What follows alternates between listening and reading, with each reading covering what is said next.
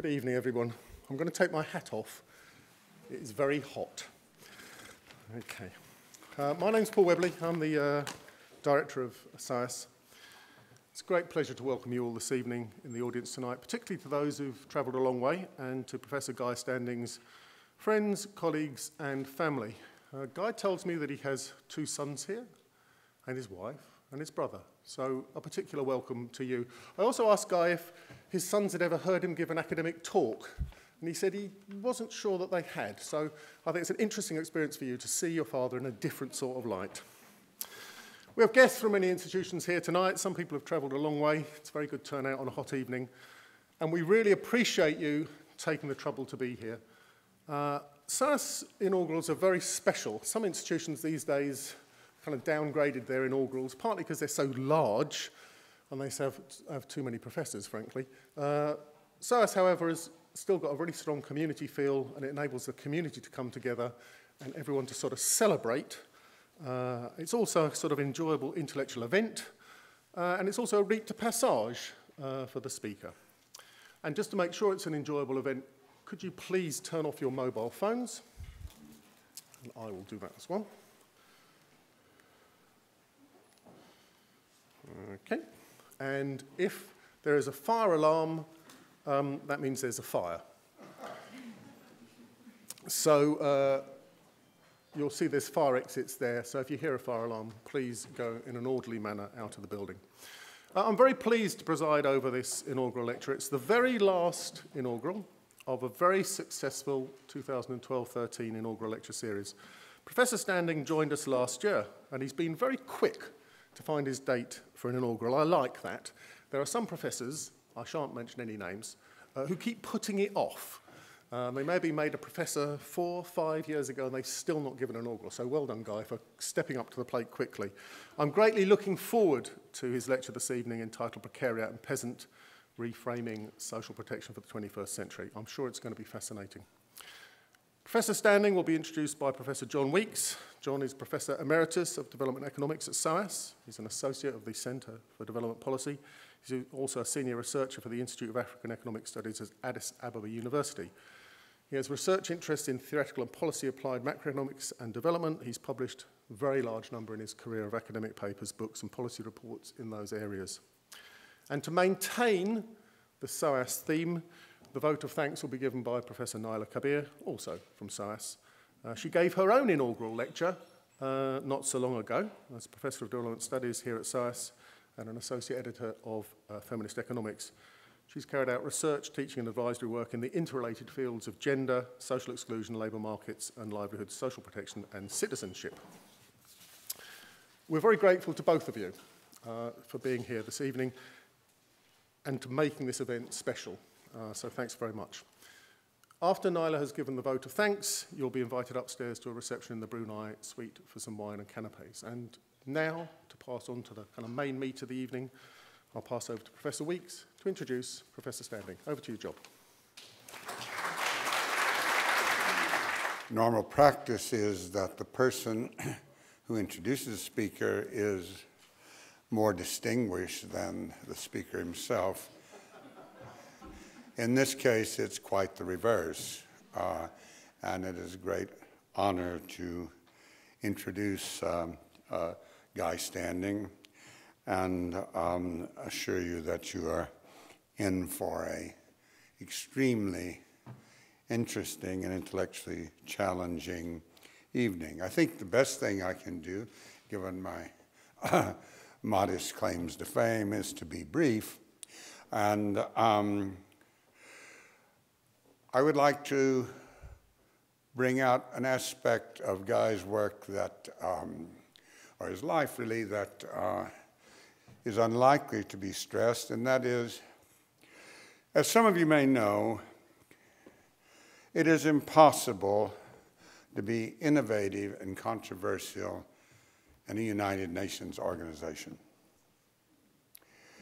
Guy Standing is the exception that proves that rule in spades because he has been both innovative and controversial in the best sense, and, uh, you might say, great cost to his time and uh, effort uh, because in any organization, even more so in the United Nations, it is a day to day struggle. If you spend one day being innovative and controversial, you have to spend the other 364 apologizing for it. And Guy never has apologized for it. I'll just mention three major contributions that he made, uh, all of which I know quite well. Uh, we worked together closely a number of times, most in most concentrated form on a very well-known um, uh, report on labor market in South Africa, which, like so many things Guy has done, is path-breaking. I, I'll only use that word once, or I'll have it. I'll, I will have said it many, many times. I would point out three things that are worth you knowing about. One is beginning in the late 1970s and into the 1980s, the, there began to be a change in developed countries in employment patterns in which the security of employment declined. Uh, Guy uh, was, if he may or may not have been uh, the first person to recognize that, that's not important. He was the first person to recognize how important it was and to put it in context. And to this end, he um, turned out, I think, his many reports on labor flexibility in different countries. Second thing I would mention is soon after the dissolution of the Soviet Union and the cha political changes in Eastern Europe, it, we began, began to get a hint that there were going to be major labor redundancies. Again, Guy may not have been the person who first recognized this, but he was the person who provided the standard analytical and empirical basis for discussing it in a series of books, the best known of which is Reviving Dead Souls. I think I got the title correct. And third, a constant theme continuous theme in his work over decades has been various versions of the universal of universal income schemes, which is now, I think it would be correct to say, matured or crystallized into what are called unconditional, or unfortunately, in, in other people's usage of it, uh, conditional cash transfers. And this has become a major area of funding for donors. And I think the inspiration, much of the inspiration for it, comes from Guy Standing. Um, I'll finish by saying that it's been a great pleasure working with him, and it is a great pleasure introducing him, and it will be a great pleasure to you to hear him speak.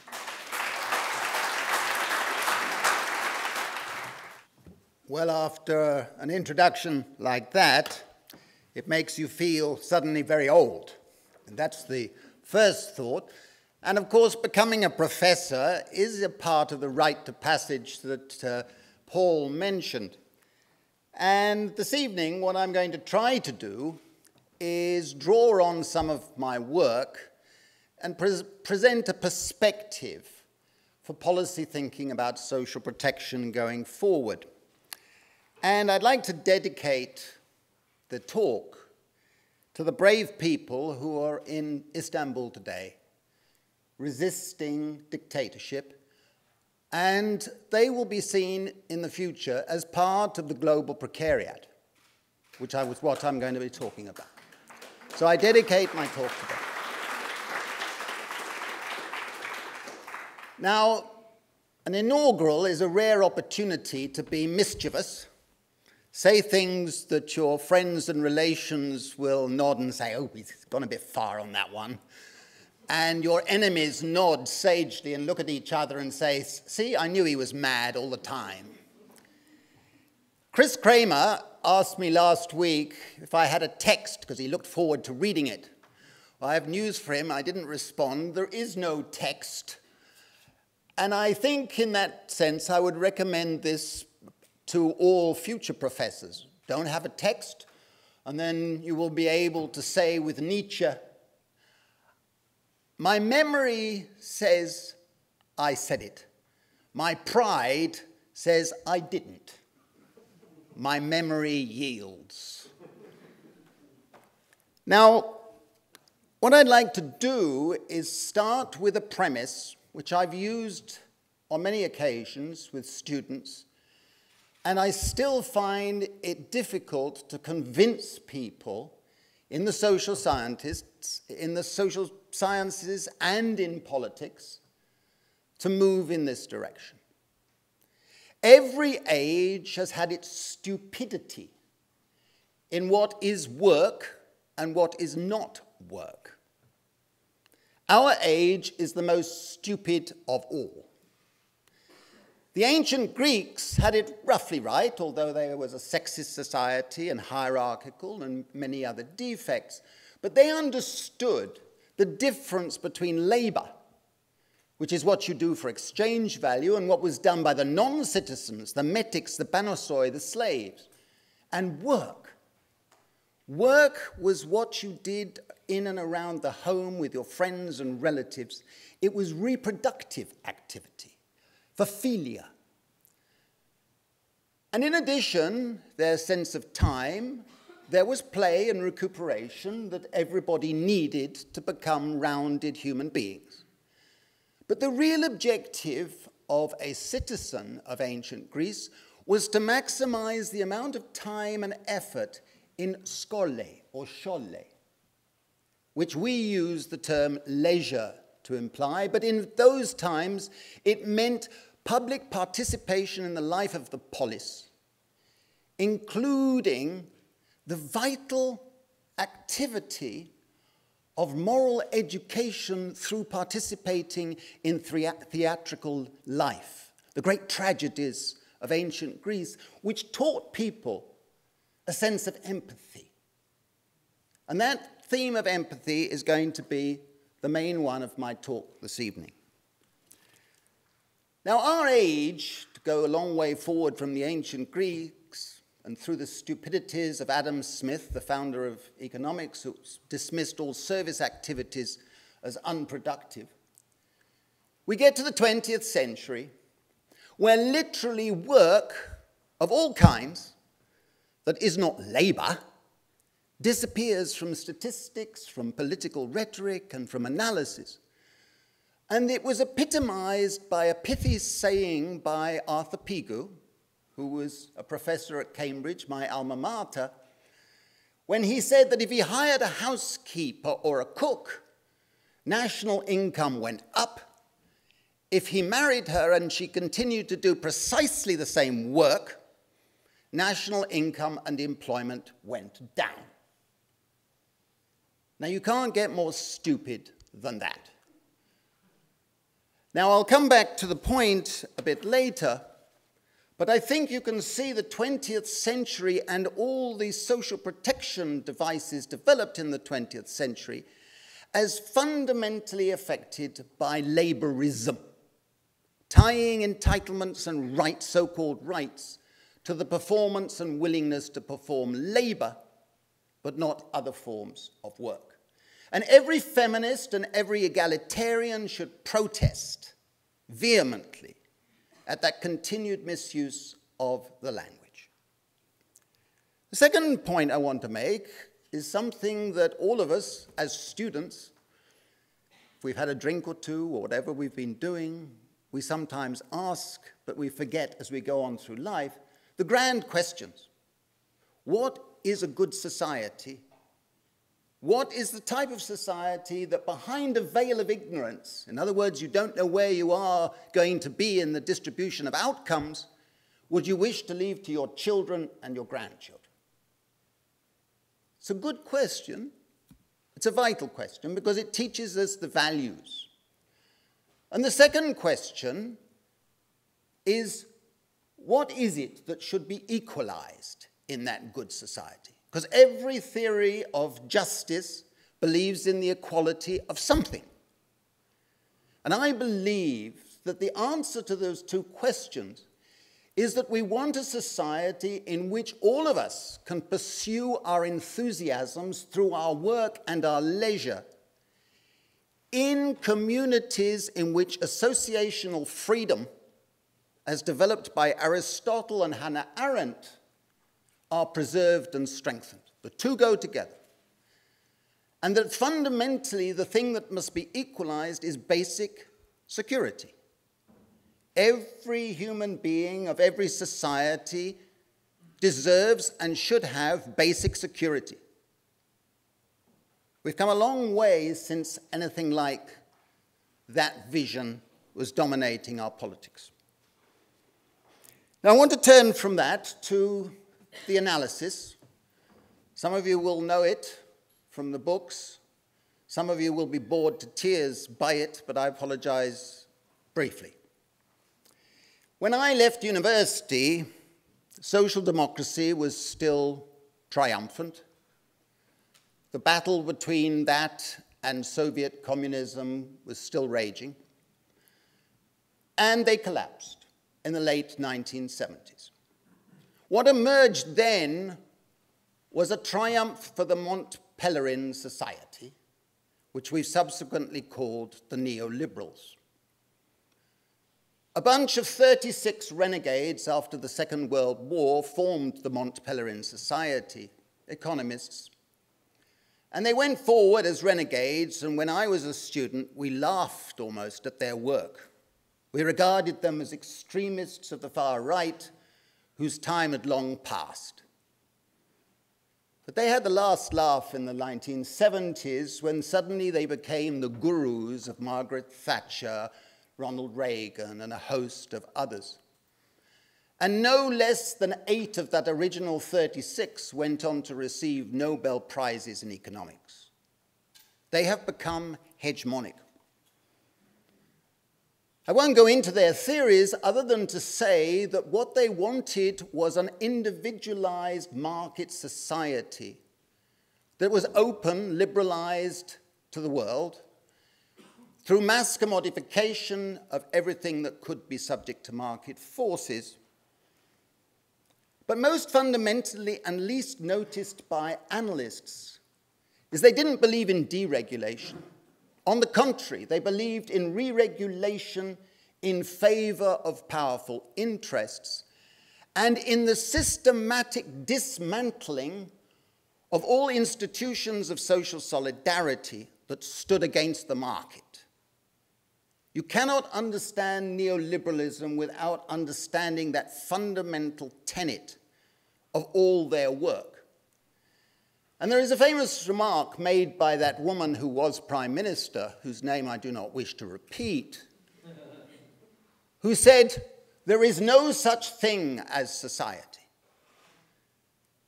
It wasn't a slip, except in one respect. What she really should have said, to be completely honest, is that there, is no, there should be no such thing as society. Because fundamentally, if you go back to the early writings of Frederick Hayek, Milton Friedman, and the others, they wanted to dismantle all the institutions of society that were collective and that provided social solidarity. You cannot understand the neoliberal juggernaut that has come to dominate globalization without understanding that basic fact. Now, what we had then in the 1980s is the beginning of a Polanyian global transformation in which liberalization meant the most fundamental change in our modern history. That almost overnight there was a tripling of the world's labor supply. But the extra billions who came on to the global labor market were prepared and habituated to earn one fiftieth of what any British person would begin to tolerate. Now, if you liberalize, it's basic economics. You don't expect to be a professor to know this. You are going to lead to downward pressure on wages and benefits in the rich countries long before the Lewis tipping point emerges where wages and benefits start rising in the emerging market economies. But as I've said before, This induced a Faustian bargain by governments of left of center, right of center, all over the world. Because they had to introduce more flexible labor markets. When I first started writing about the growth of labor flexibility, I remember the unions and labor parties refusing to discuss it. They said, We're not going to allow it to happen, it won't happen, and it should be stopped. That was a terrible error.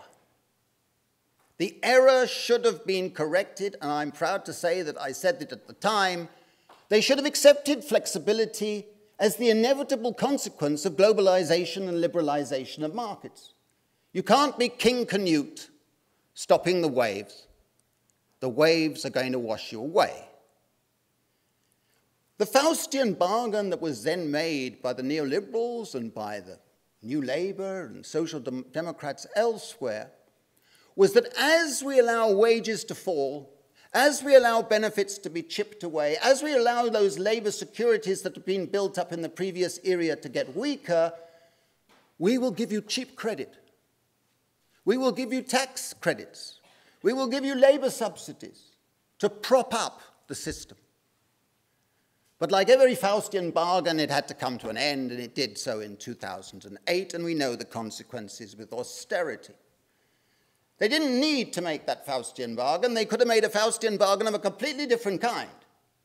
They could have said to financial capital and big capital, we are changing the rules, and as a result of changing the rules, your incomes are going to shoot up, not because you're suddenly more clever, but because we're changing the rules. Therefore, it is only just that we have a sharing process of all that financial capital with the people. We didn't do that. Now, what happened then is that as flexibility spread, inevitably the old Bismarckian and Beveridge systems of social security collapsed because the contributive base faded and not enough people were getting entitlements to decent state benefits. So the second historical error was made. Country after country, led by Australia, by this country, and by the United States, but then by Sweden and others, moved to means testing social assistance. Now, means testing social assistance means literally that we're going to target the benefits on the poor, the poorest of the poor. All these euphemisms that emerged. But to do that, of course, you have to have tests because supposing you say, you poor over there are poor because of your own fault. You're a lazy bum or you haven't trained enough so we have to have tests to determine whether, in fact, you are a deserving poor. Surprise, surprise, that is exactly what has happened in the ensuing period. Now, the means testing and the flexibility led to the great class fragmentation that has engulfed my own life as an academic as a, and as an activist. I predicted, I looked back at some work, and one doesn't like to say told you so too many times, but back in the 80s, I said that the flexibility insecurity paradigm is going to lead to a multiple form of class fragmentation with different groups having different relations to the state. What we've seen is the emergence of a plutocracy and an elite way off the stratosphere, a salariat shrinking in numbers but with lovely employment security and bonuses and access to capital, etc., etc., alongside a group of professions who have got burnout written all over them every day of the week, and the old working class for which the welfare state was built shrinking everywhere. And underneath that, the precariat. Now, the precariat is an emerging class in the world. Millions and millions of people are entering the precariat and it is providing a new fulcrum for political action. The precariat has a few distinctive characteristics. I'm not going to go into them in detail, the books do that, but I'm just going to list them so that it gives you a picture of who they are and where you are in relation to them. I dare say most of us in this room are pretty close. The first characteristic is that they have distinctive relations of production in Marxian terms. They're casualized, they're outsourced, they've got all sorts of euphemistic names to give them chronic labor insecurity. Now, I don't know what's happened to the circular that, that I produced for this talk, but those of you who are interested in this will be able to get it on email afterwards if you haven't got it now.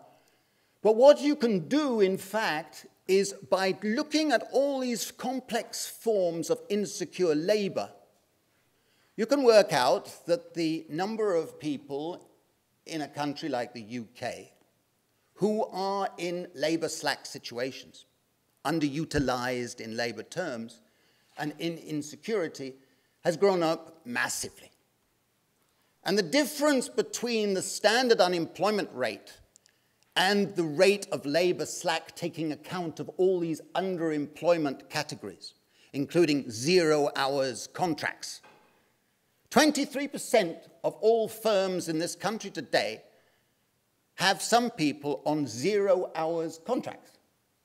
Reminds me of the Soviet system, those dead souls who were on the books but not given any employment. They count as full time labor, so the statistics look wonderful but hundreds of thousands are on such contracts. Now, I think that is a feature of the precariat, but is not the most important.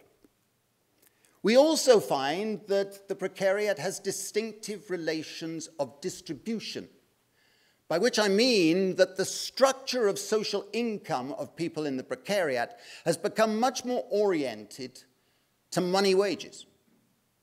Ironically, because they are losing entitlement to enterprise non wage benefits, to state benefits, to all forms of community support, which means that makes them much more insecure and subjects them to the most peculiar feature that we have to address in thinking about social protection, which is that the precariat suffers from chronic uncertainty not the classic labor risks that were looked after by Beveridge and Bismarck. Uncertainty is when you don't know the probability of an adverse event hitting you. This uncertainty is fundamentally important for understanding what we need to do in the future.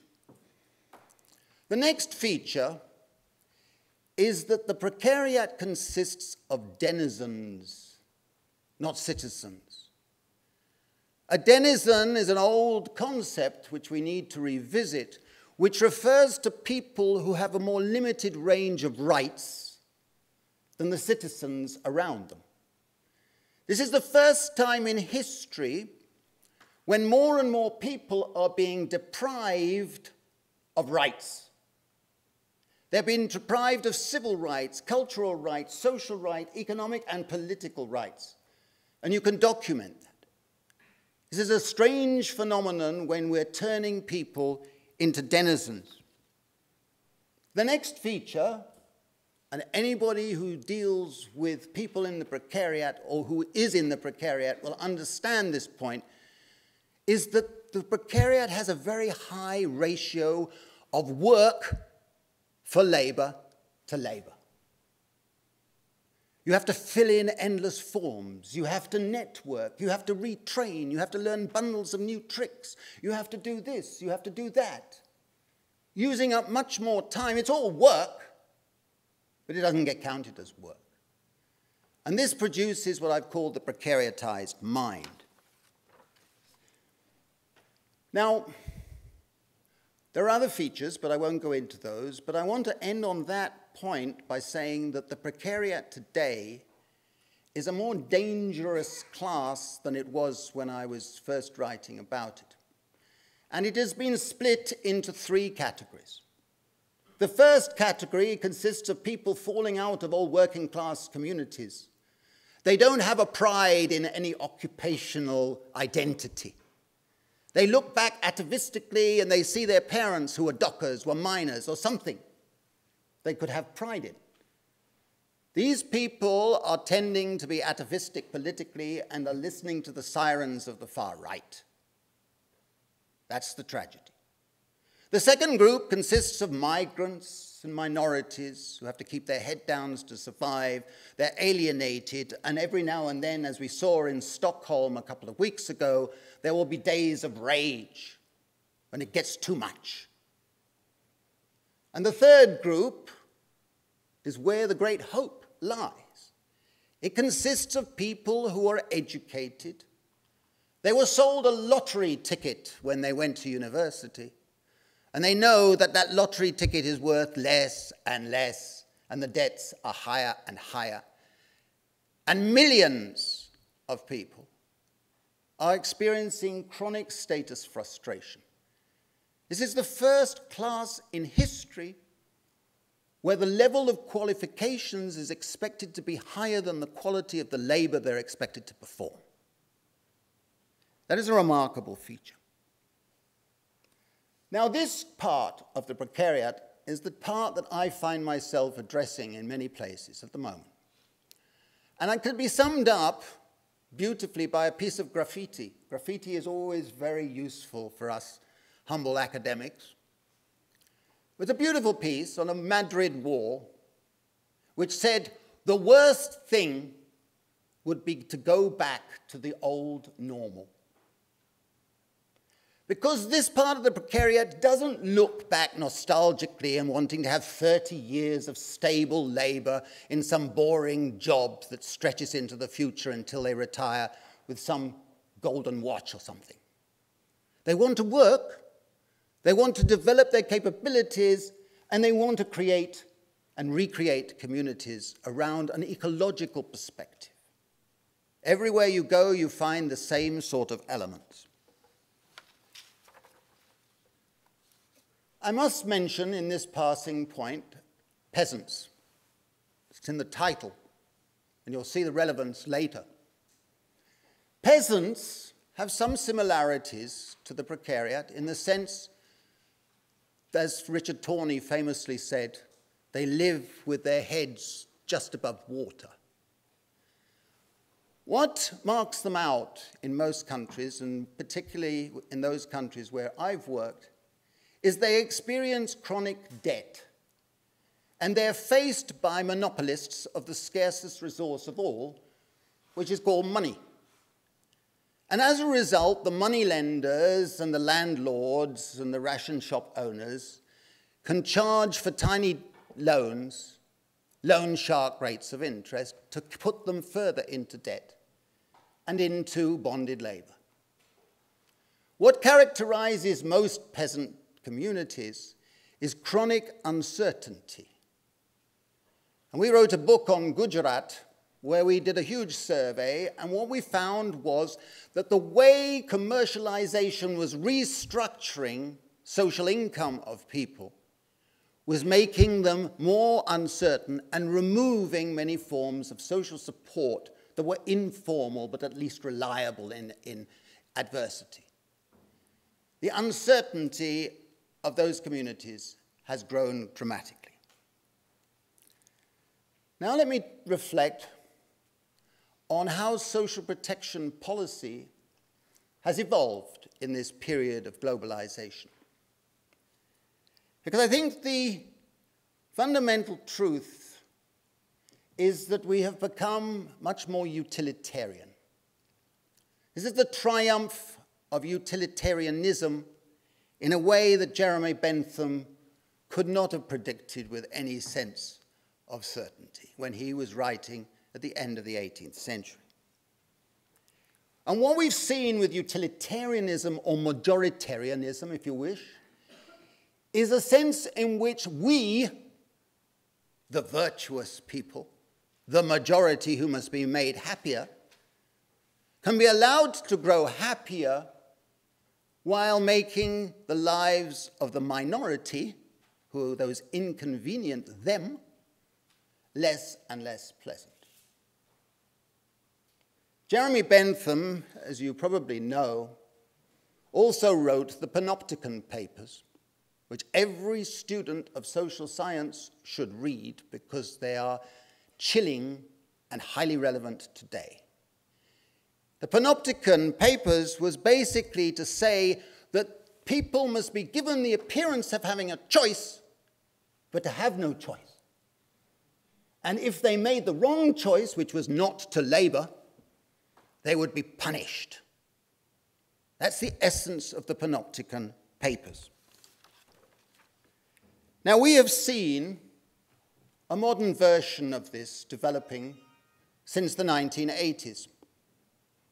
The latest euphemism by which the panopticon state has been taking shape is called libertarian paternalism.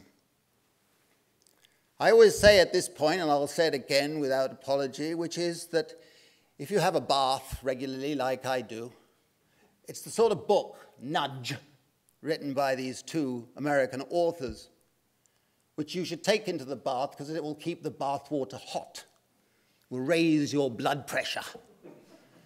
If it doesn't, you're well on the right. The irony is that Obama when he was elected president, appointed one of, his, one of the authors of this book as his chief regulator in the White House. And when David Cameron was elected prime minister, one of the very first things he did was appoint the other author. I suppose he got the second author, you know, the cheapie. And set up in Downing Street a little shadowy unit called the Behavioral Insights Unit, which has since been called the Nudge unit. And the idea of the nudge unit is to steer people to make the right choice. So they're using all sorts of techniques, all sorts of tests to get people, particularly people who are in the precariat, to make the right choice. And guess what comes with that? If you don't make the right choice, watch it. Now, this model of utilitarianism believes in insecurity. It believes that insecurity motivates people to labor, to save, to invest, to take risks. It's almost a crude Darwinian model. It rejects any sense of social solidarity. And I've written an article which didn't make me many friends with my religious friends, as it were, pointing out that a remarkable fact about those who've been pushing the workfare agenda, the utilitarian agenda, is their incredible religious convictions that drives them. Iain Duncan Smith is a converted Catholic.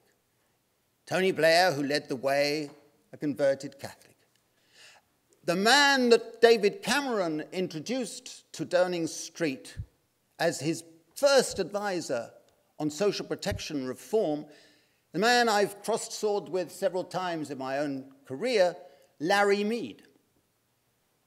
Now, Larry Mead has written a number of texts in which he said religious people should be the social policy people. And what we need to do is to induce the unemployed and the benefit claimants to blame themselves they must blame themselves. He has written that and said it. So instead of a world in which we see people drifting into disadvantaged situations and needing compassion and needing our empathy, we are to get them to blame themselves. A lot stems from that. Now, I think there should be a prize, an annual prize, maybe we would call it the SOAS Prize, Paul, for the most toxic political speech of the year. Last year, there was only one candidate that I could think of.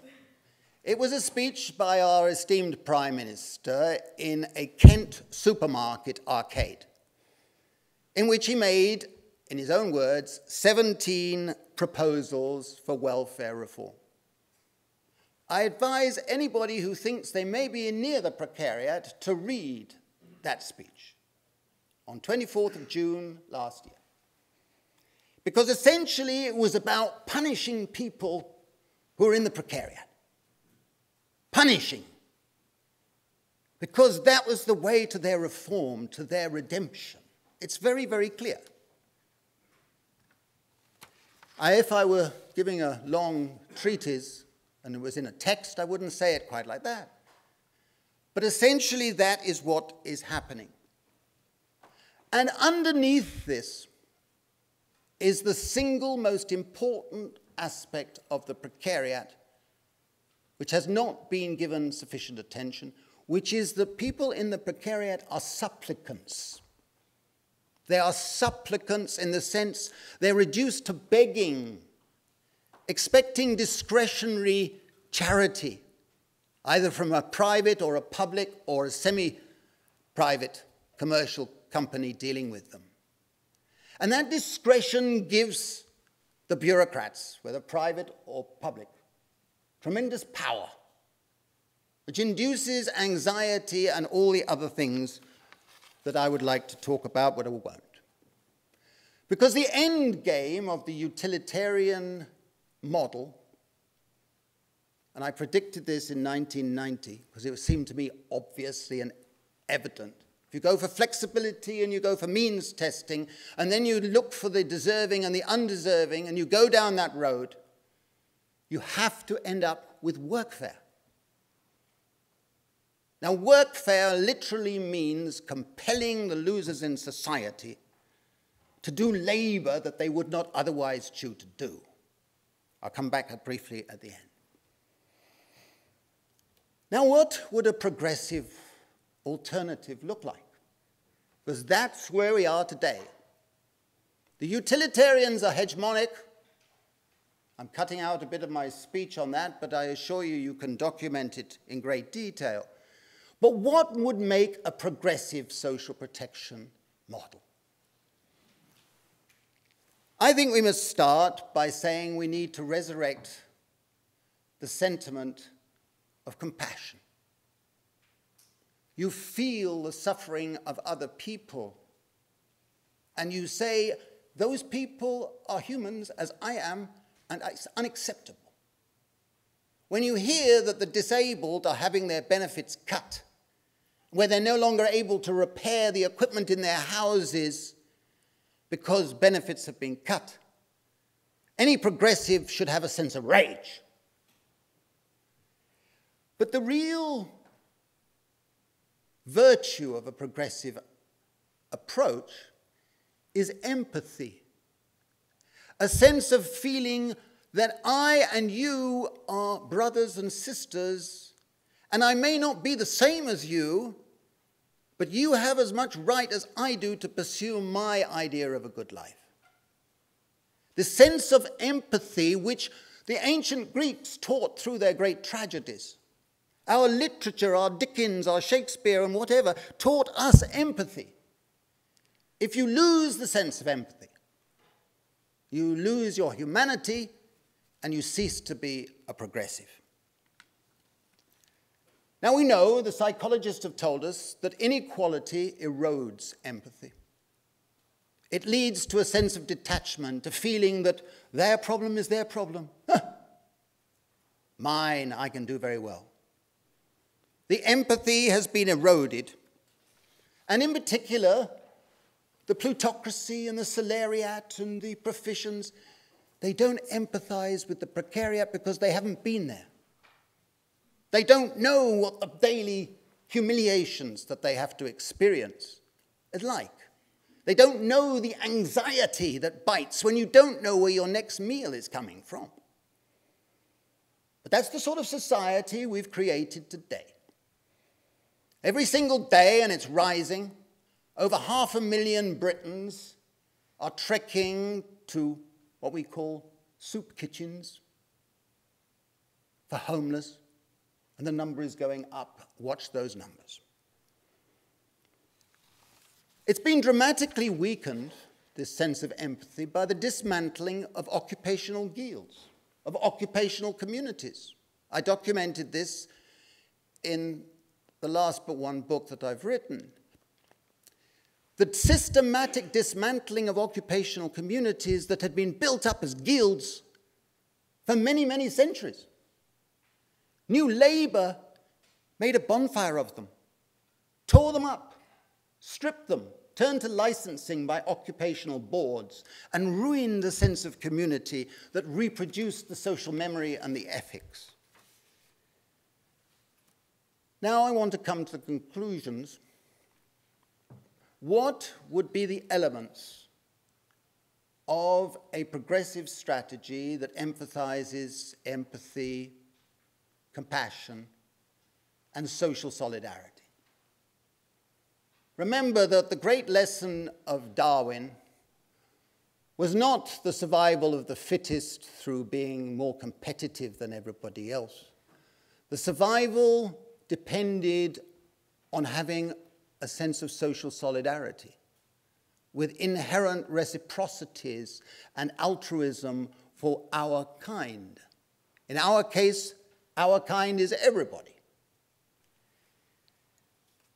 Now, the 10 points I want to end on are elements of an empathy strategy. The first, you will not be surprised, is we will need to reconceptualize work.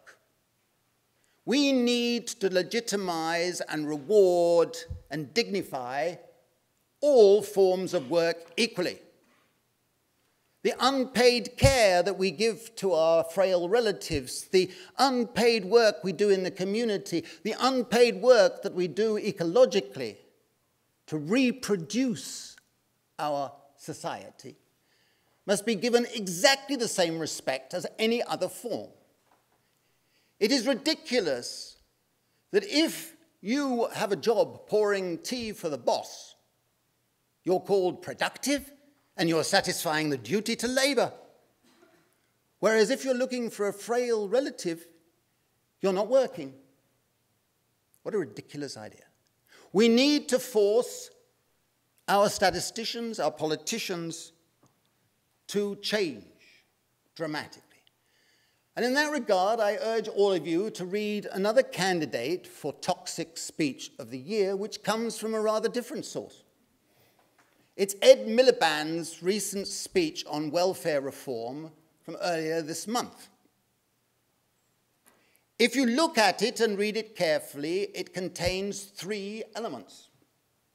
One, that's a stupid little one, but why? Why? Why use it? You're making a, a, a big speech about the future of welfare. And his first proposal is we're going to force all mothers of three year olds to do job preparation training and if they don't, they'll lose their benefits. What sort of idiotic idea is that? The second idea is that we will not allow people to be unemployed for more than a certain time. They will all be forced to do labor, go into a job. And by the way, it will be a minimum wage job. the same time, he and his colleagues are saying we must go for a living wage, a living wage for everybody. But he would put the unemployed into menial, dead end jobs that would leave them in the poverty trap. What sort of idea is that? And the third idea is to return, so the Labour Party says, to the contributions principle. Read carefully, and the only losers in that will be the precariat because they will not get into the circumstances where they've got five years of continuous contribution or five years of contributions, full stop. So it actually will be regressive. Now, that leads me next to the second point. We must overcome poverty traps and what I call precarity traps.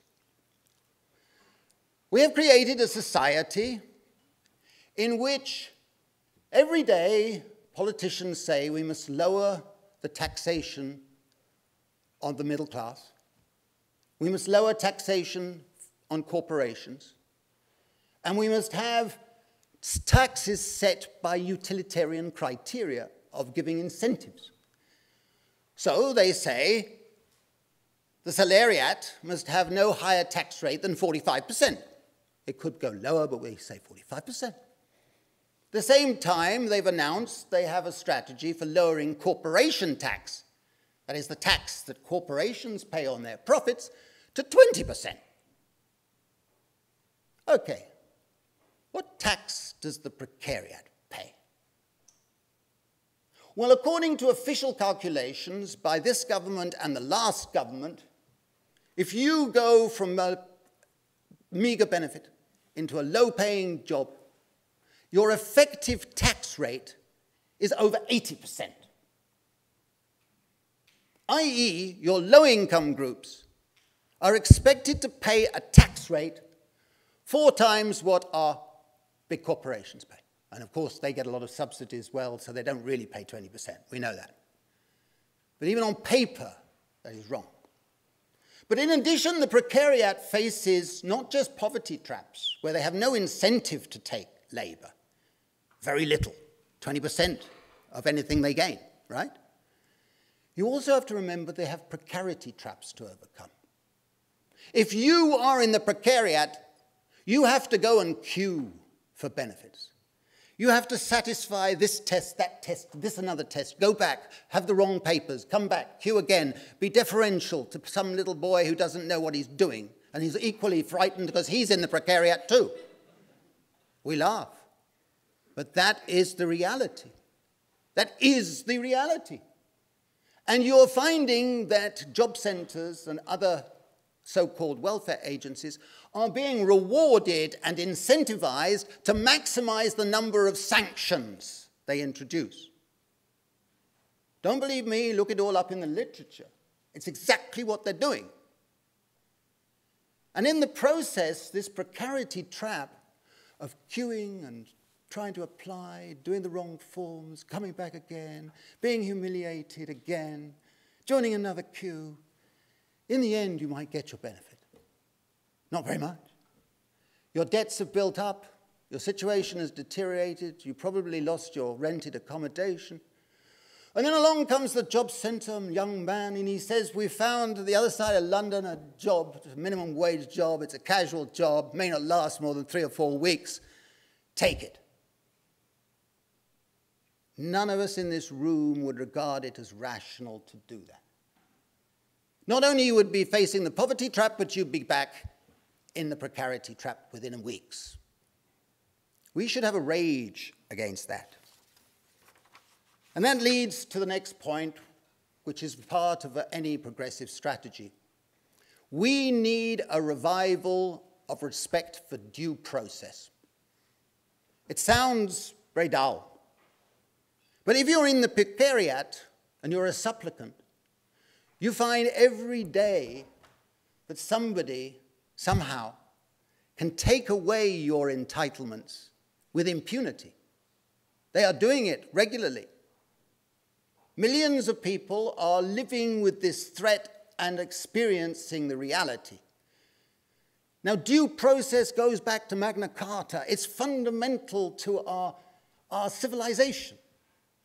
Yet there is no due process. There's no legal aid to help people when they're, have, they're, they're sanctioned and they don't have any way of getting it back.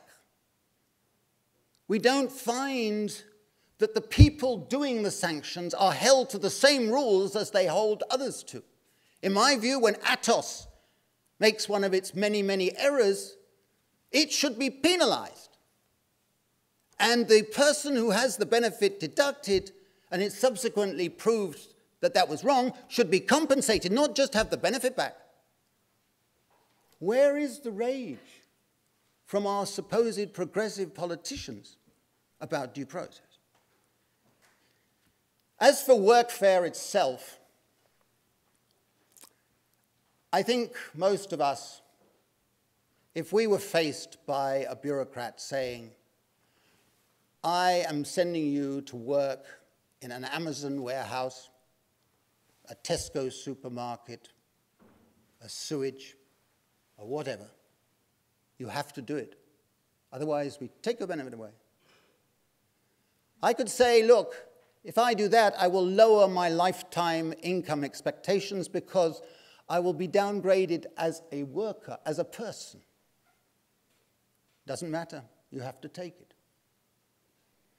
Now, I defy any of us here to say that this is a policy born of empathy, of compassion. It isn't, and it can never be.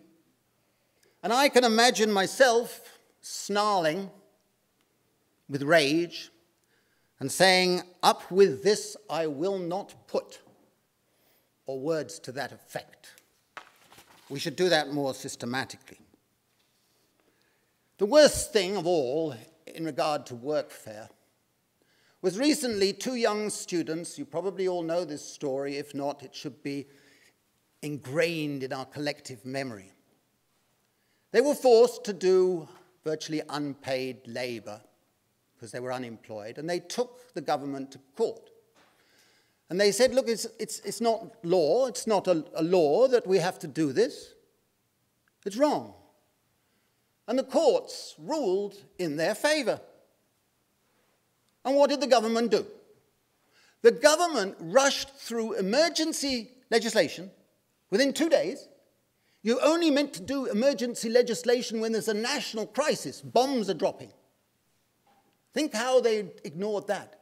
They rushed through this emergency legislation, making the offense retrospective. So that if you had refused and been, had your benefits stopped, you couldn't claim those benefits, even though you weren't breaking the law. Now, this is a fundamental principle of British civilization.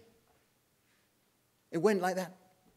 But what was equally scandalous was that the opposition, our proud representatives of the progressives, they ordered their MPs not to vote against it and made it a resignable offense for all the shadow cabinet. The utilitarians in the middle have lost it. Now, I want to skip some points because I'm running out of time and I apologize for that. I think it's very important in this new compassionate approach that we have to strengthen the collective voice of the precariat. That is beginning to happen. It is, the energy is taking place. But I want to conclude, and I hope I don't break down on this point, with a last and fundamental principle of a new progressive social protection. That is that the time has come when we must move towards having a basic income as a universal right of citizenship. Move in that direction. Move away from conditionality, move away from the utilitarian rationale towards a sense of giving people basic security as a right of a civilized society. Now, there are many criticisms which we've dealt with over the years and there are a number of fundamental principles, and anybody who's interested in this could join our organization, BIEN, which has some members here in this room now, which has been promoting a basic income around the world. The argument I like to use is derived from Tom Paine, who wrote in 1795. He didn't use the exact words I'm going to use, but the point he developed is roughly right. We don't know who contributed to our wealth today. Everybody's income and wealth in this room and any other room is far more due to the efforts of previous generations than anything you or I do ourselves. It's an obvious thing. And basically, the argument for a basic income is it's like a social dividend for the contributions of previous generations to our collective wealth.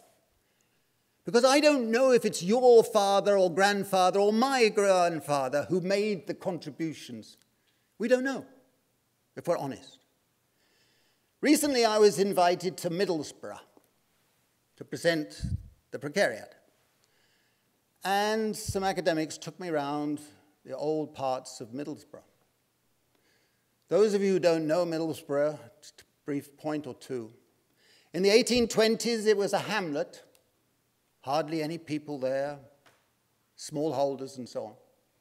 And by the 1850s, it had become the great ironworks of the empire. And you will find that most of the Indian railway system was built on the iron ore in Middlesbrough. The Sydney Harbour Bridge is built with the iron ore in Middlesbrough. If you go there today, you will find derelict estates, people in the street, slobbish, without education, without hope, without dignity. And you say to yourself, or you should if you're a progressive, these are the descendants of the people who created the wealth by which those in the South became millionaires and, like Iain Duncan Smith, has his 1,500 acres of land. They created the wealth. And yet today they get none of it. And we should be very angry about that. And basically, the justification for a basic income is that it is a social dividend that we should all share. There are many other reasons for moving in this direction. It will give people a greater sense of control over their time. It will encourage more work rather than labor. It can be used as an automatic macroeconomic stabilizer. And it will strengthen social empathy because it will induce a greater sense of altruism, tolerance, reciprocity. Psychological experiments done in many countries have shown that this is precisely what happens. I want to mention too that the illusion of the center is that somehow work, which they mean labor, is the best route out of poverty. Again, they're being canutish. Real wages have been stagnating in, or falling in all the industrialized countries in the past 30 years.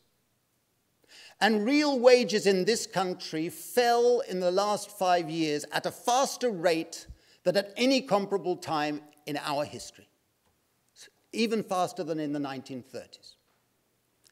It is a fool's illusion to think that we're going to address the poverty and inequality by better wage policies. I'm all in favor of better wage policies, but they're not going to do what is needed.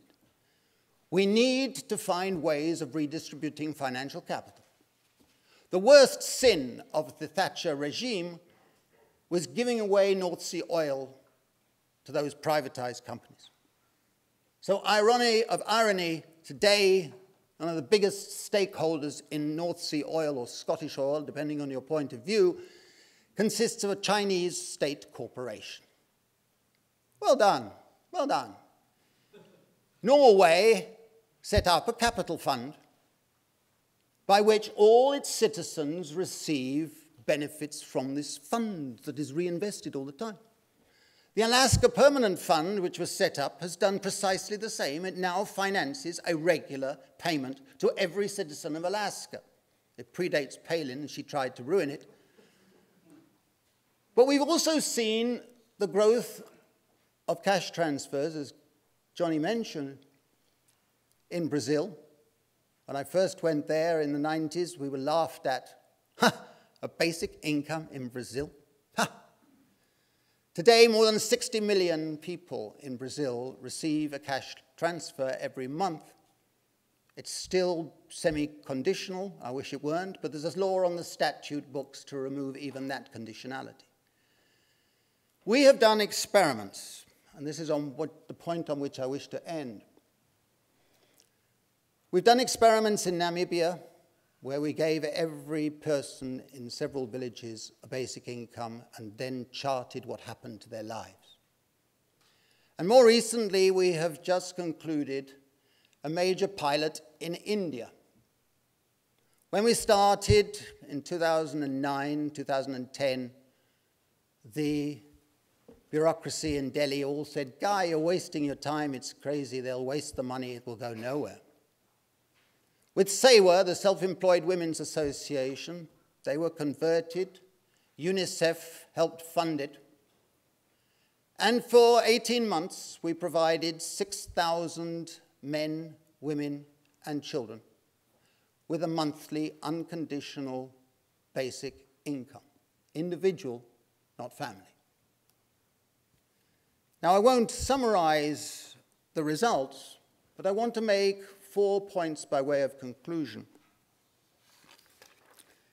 The first one is that it was unconditional. We didn't tell people what they had to do with their money. That's paternalistic. If you believe in a progressive social policy, you must empathize and say, the only difference between them and me is that they're poorer, but they're human beings. So it was unconditional, it was universal. Everybody in the community got it. No means testing, no behavior testing like this. It's nonsense. You can claw back through taxation if you wish. And the third is individual. Now, what's happened? We also tested some of the villages. We had a collective body representing people, SEWA. Some of the villages, no SEWA. Because our theory is that collective voice gives greater strength to the vulnerable. And the results we presented at a conference in Delhi on May 30th and 31st. I'm very proud of the fact that the Minister of, for Social Development came. He is the Indian minister, cabinet minister in charge of cash transfer policy for the whole of India. He came, and at the end he said, This dispels all doubt that the poor will be irresponsible. We have seen child malnutrition dramatically fall. We've used the Z score, if anybody is in public health, to see the distribution of weight for age. And what's even more wonderful than when Mozart was playing in my ears when I saw these graphs with our data, because we've analyzed with a randomized control trial comparing with other villages where we've had no basic income, is that the weight for age of young girls improved even more than for young boys. We've seen schooling attendance improve, schooling performance go up, women's status improve, economic production improve, health care improve in various ways. But the point that I found most dramatic, and I try and make it in an article in the Indian newspaper, the Financial Express, which is circulated for you, is that the basic income grants have been transformative. What's happened is they've given liquidity to people who didn't have liquidity. It gave them a sense of having a greater control over their spending and a greater ability to resist the moneylenders and the Nauka system, the bonded labor system. And it released the constraints on them able to borrow little for seeds, for fertilizers, and little things. And we saw a rather strange development, which is, of course, one of the critics of giving people unconditional basic income is they'll be lazy and scrounge and drink and do all sorts of things. Well, the irony is that what did happen is a reduction of casual wage labor. Horror. But a much greater increase in work on their own farms and their own small businesses, in their own activities, in caring for their relatives. And irony and irony, the greatest beneficiary of the system, bear in mind it's given to everybody equally, is that the people who've benefited most are the disabled. Because they suddenly have a voice at the family. They have a voice to say, I count. Now we're seeing a transformation, and I'm very proud of the fact that at the moment there seems to be very po positive mood music, if you want to call it that.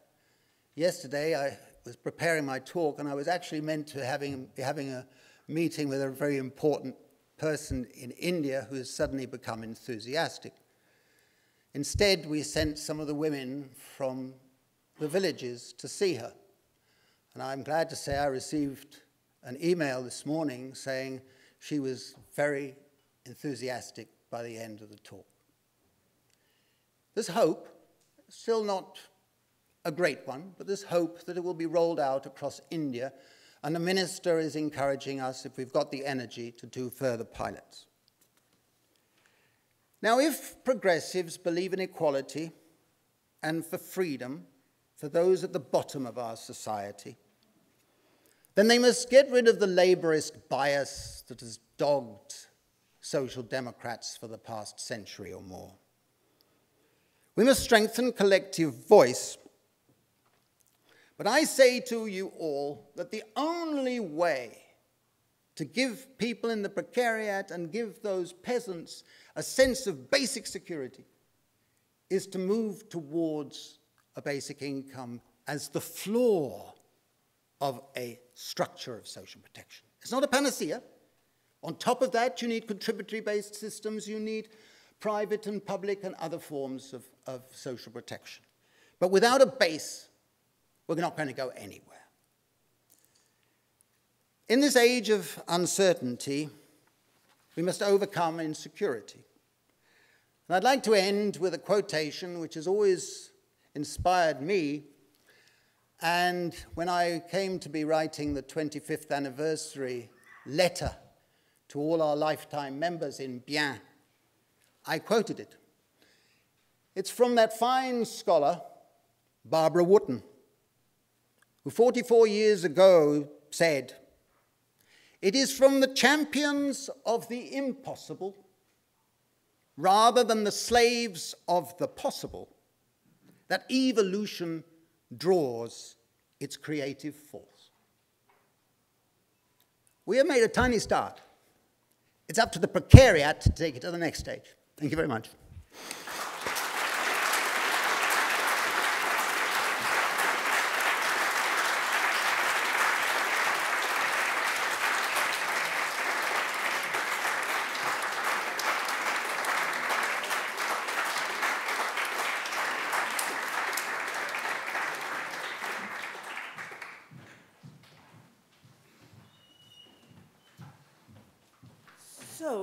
I'm very glad that we moved from the very dismal scenario that uh, Guy spent quite a lot of his talk uh, with, the scenario generated by the politics of the nudge and welfare and so on, to a much more optimistic and uh, um, you know, hopeful scenario, the politics of agency, citizenship, transformation. So it falls to me to say thank you um, and I, I also did not prepare a text. I only have a few minutes. Uh, but I thought I'd wait to see and hear Guy before I decide what I want to thank him for. Um, so, first of all, I think I would like to thank Guy for what we will all recognize was not a conventional academic lecture. It was a very passionate and a very committed uh, exposition of his ideas and his uh, his way of moving us forward. Um, I met Guy uh, at the end of the 1990s sometime when he was within the ILO, and I had not realized, I mean, I was called to be on the advisory group of his report, uh, exactly how these things worked. And uh, I think uh, John Weeks talked earlier, I think he mentioned the word maverick. But um, I think one of the things that struck me about that report is it uh, he went about it in a way that I didn't think normally was procedure in these uh, UN reports, because he brought in a very interesting group of people for his advisory board, including, of course, myself, and some other feminists, and psychologists, and sociologists, and a few people from, from SOAS. And what came out of it, I think, was about insecurity and about justice. And so, what I realized, and that was really the first time I'd met him, and I've met him off and on over the years, our paths have crossed. And I've realized, of course, by reading his work, that this has been a lifelong, or, at least after he became an adult. I don't know if he thought about it as a child, but certainly a lifelong preoccupation. And it has become clearer and firmer over the years. Um, and what I'm particularly glad about is that he has picked up on that aspect of poverty which was often overlooked in poverty studies, and that is what does it mean to be insecure? Those of us who learned about poverty, we always were told that poor people have very short term horizons, partly because they're so preoccupied with surviving the present. But I think there is more to short term horizons, is that you don't know what the future holds. So, how are you to plan for it? And in a sense, the way that Guy is proceeding with his ideas about basic income and a universal social floor is to provide people with that firm ground from which they can think about the future. And I've also just looked up his uh, website, you know, as a way of sort of orienting myself. And you realize that this is a man with a mission who is, uh, I think, in several places at the same time and talking to several different audiences at the same time and probably uttering several different speeches at the same time. But it makes me very pleased that someone has made it their business to really get on top of the facts about what insecurity means. And what is interesting, of course, is Guy's examples today were about Britain. A few years ago, maybe a decade ago, we'd have been talking about the South. But today, those very experiences of indignity, of humiliation, all of that that goes with the workfare, with welfareism, is very much, and he has graphically illustrated it, and he clearly has spent a lot of time studying it, is very much the experiences that we are seeing around us here. So, my final thanks to Guy is to thank him for making it his business, to stay on top of what's going on, and to make, to provide a possible way forward. I am very pleased. I knew about this experiment in India. I don't approve of randomized control trials, but obviously you have to do them in order to get some kind of hearing. And I'm very pleased that it seems to have worked. I never doubted that it would work. I am not surprised that poor people are very industrious, given the opportunity. But it is very good to have strong evidence that tells us this is so. So, for that as well, thank you.